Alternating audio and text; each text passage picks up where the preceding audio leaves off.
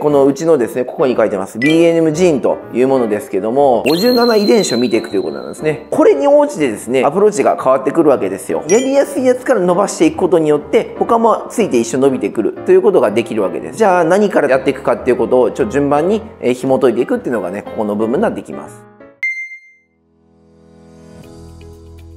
え次はまたこれアスリートでもすごく大きいところです。怪我予防というところなんですけどもここではですねここ骨折と書いてます。まあこれ主に疲労骨折のところなんですがあとはですね筋肉や人体損傷に関してこの項目で見ていきます。僕はですねアスリートにすごく大事なのはこれやっぱ怪我しないっていうことだと思うんですね。やっぱりすごい選手こそ怪我少ないということですね。やはりじゃあ怪我するとやっぱり離脱期間がやっぱあるわけですよ。そ一生懸命頑張った期間がまた失われてしまうわけですよ。でしかもそれが1週間とか2週間じゃなくて数ヶ月単位とかなってくると今まで頑張った数年分が失われるというふうに言ってもね過言じゃないぐらいですね。怪我の休み期間っていうのは少なくした方がいいというのが自分の中の考えとしてあります。でここのね組織ごとの怪我のしやすさということですけどもやはりですねあの骨に問題が起きやすい人と筋肉や人体に問題が起きやすい人ってやっぱあるわけですよ。じゃあこれが何で起こるのかなんですよね。経験則的にいや今までのこういう怪我をしてきた。これあると思うんですけどもそれがじゃあ果たして体質と合ってるかどうかではなくて練習の問題だったりだとかトレーニング問題これがあったりするわけけです。もうちょっと言い換えるとこれはセルフケアの問題もあるかもしれません。あとは栄養の問題もあるかもしれません。ここをですねリスクが分かったっていうところでじゃあどういうふうにしていくかということを考える必要があるわけです。なので偶発的な怪我は仕方ないですけども自分で起こるもの例えば走ってて膝痛くなった。これも自分ですよね。単純にいろいろ動いてて腰痛くなった。これも自分だと思うんです。だそういうのをですねできるだけなくしてほしいなと思いますのでこの怪我の項目これすごく重要だと思います。これあともう一個最後ですけどスタイルという部分ですね。スタイルはですねまここに大きく分けているのは筋発達と体脂肪のいうところですけども、まあ、これはですね体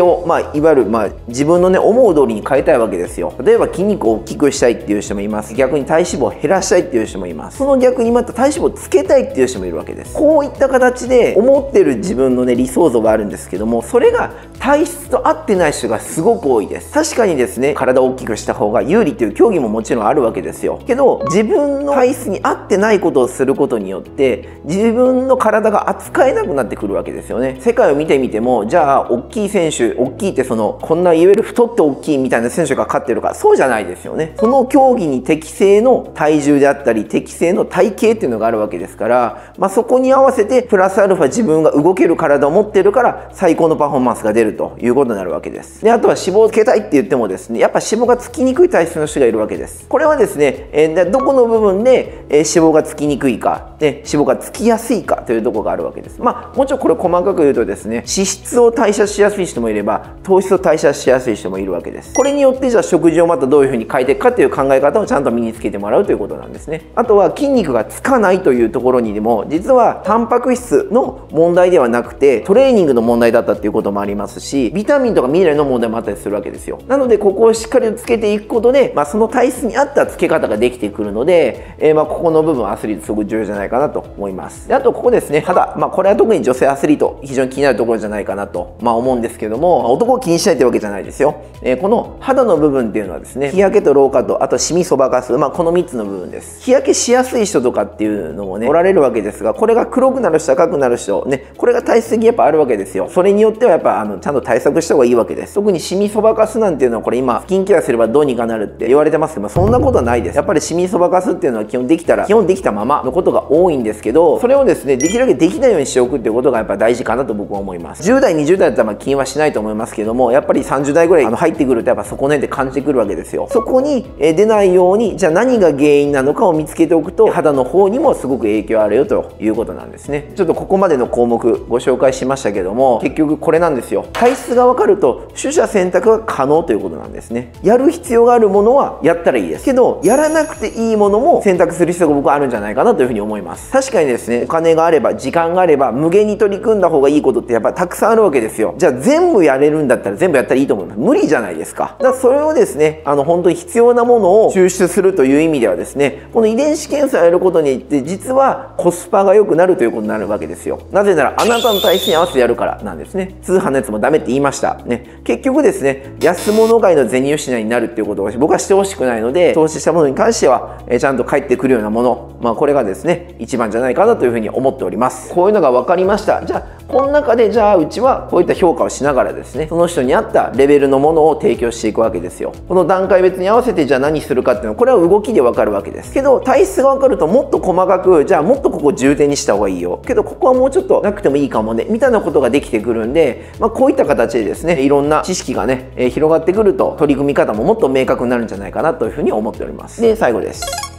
〇〇がいいに騙されるなということですねこれがいいって聞いたら飛びつく方いるんですけどもそれがいい人もいるっていうことなんですよ。だからこの〇〇がいいっていうものに対してこれ絶対飛びついたらダメですこれがいいっていうのをですね鵜呑みにするんじゃなくてこっちのこと知ってれば私はこれ合わないわっていうことがねできてくるわけなんでまあここに騙されないでくださいねということで、えー、今回の締めとしたいと思います。ということでねえっ、ー、とこのね BNMG、えー、これがですね長年のね経験をまたプラス知識をですね、え詰め込んだものになります。で、まあ、ちゃんとね医療国家資格を持って卒業してからも勉強してという形でもういわゆる推移を集めたものです、まあ、こういった形でね、えー、皆さんお役に立てるものをできたなということで本当にまあ嬉しく思います、えー、なのでもしまあご興味ありましたら、え、概要欄の方に詳しくは書いておりますので、えー、ぜひですねお問い合わせください、え、ということで、え、本日は、えー、この BMG の、え、またさらに遺伝子のご紹介という風な形になりました、え、お分かりのことありましたらまたぜひお尋ねください。はいということで本日は以上です。ありがとうございました。ありがとうございました。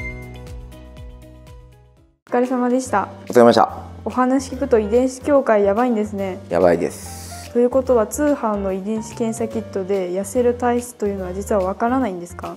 いやまあ分かるものもあると思うんですけども正直まああんま期待しない方がいいんじゃないですかけど最近タレントの方がある遺伝子検査して体質分かったから痩せられましたっていうことですけどそれはどうなんですか？いや正直何とも言えないですね。まあけど実際遺伝子検査というよりは運動と食事を頑張ったからまあ効果が出たってことじゃないですかね。運動と食事ちゃんとしたらそれ痩せますよね。はい。けど今回のはパフォーマンスアップに向けてということですが BNMG は痩せるのに有効ですか？はいもちろんです、まあ、体質が分かって何を気をつけるか分かるのは間違いないです。ただこれをやるのは自分なのでそこをしっかりとやってくださいってことですね。腐ってきます。私も頑張ります。ありがとうございました。ありがとうございました